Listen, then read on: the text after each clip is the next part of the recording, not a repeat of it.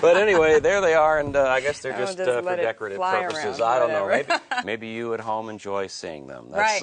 anyway, uh, we have a story for you right now that is really going to get you steamed up. It's one of those abuses Ah. of power stories. Today, the Make a Wish Foundation, you know them for all the charitable yep. work they've done over the years, is expected to file for bankruptcy, all due to the financial strain caused by one little child's wish for unlimited wishes.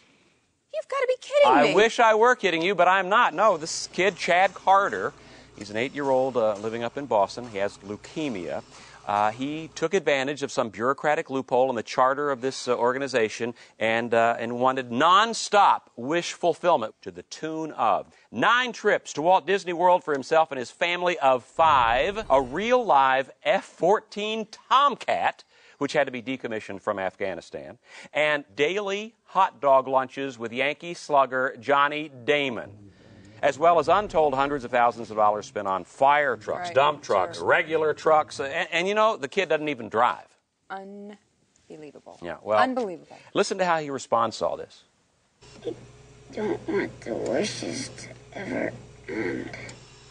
Can you imagine? Is there only himself to think of? Unbelievable. And joining us now here is Make a Wish Foundation President Dean Fineglass. Dean, our sympathies to you today, buddy. You are really in a bind, aren't you? Yeah, we sure are, but our slogan is a promise is a promise. Because of that, our hands are pretty much tied right now. So, Dean, what have you thought of to do to, to fight this situation? Well, we had gotten a pro bono legal team, and of course, Chad found out about it, and guess what? He wished away our legal team. It's He's very got all the clever. bases covered. Yeah. Yeah. every day I go in there, and it's, it's more outrageous than the day before. Is there anything our viewers can do to help? There is.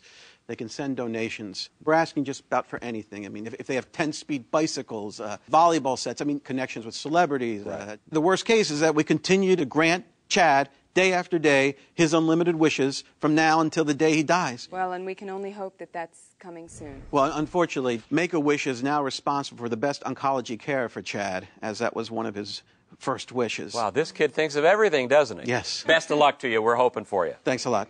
Thanks.